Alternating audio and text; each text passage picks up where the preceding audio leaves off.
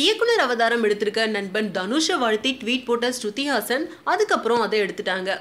நடிகர் பாடகர் தயாரிப்பாளர் மற்றும் பாடலாசிரியராக இருந்து வந்த தனுஷ் பவர் பாண்டி படம் மூலமா இயக்குனர் அவதாரம் எடுத்திருக்காரு. படத்தோட ஹீரோவா ராஜ்கிரனும் நடிக்கிறாரு. இயக்குனர் தனுஷுக்கு வாழ்த்துக்கள் வந்து குவிஞ்சிட்டே இருக்கு. நிறைய பேர் நேர்லையும் சமூக வலைத்தளங்களையும் தனுஷை வாழ்த்திக்கிட்டே இருக்காங்க. இந்த நிலையில ஐஸ்வர்யா இயக்கத்துல தனுஷோட நடிச்ச ஸ்ருதி ஹாசன் அவங்களோட ஃப்ரெண்டுக்கு ட்விட்டர்ல வாழ்த்து செய்தி சொல்லியிருந்தாங்க. ஸ்ருதியோட ட்வீட்டை பார்த்த தனுஷும் தேங்க்ஸும் பண்ணியிருந்தாரு. இந்த நிலையில ஸ்ருதி என்ன நினைச்சாங்களோ தெரியல. தனுஷை வாழ்த்தி போட்ட ட்வீட்டை எடுத்துட்டு இருக்காங்க.